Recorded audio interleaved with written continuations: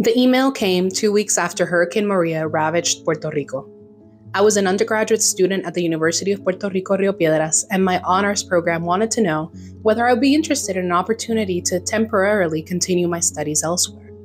Brown University, a school I had never heard of, was offering to take 30 of us the chance to take classes there while our university recovered.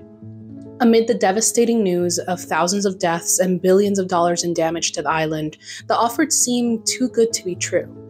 However, my family encouraged me to go, and soon I found myself on a private flight to Rhode Island.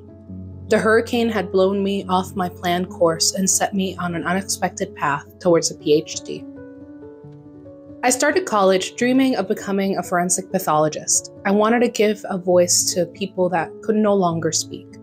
I would need a medical degree, so I enrolled as a pre med biology major and focused on my first year course.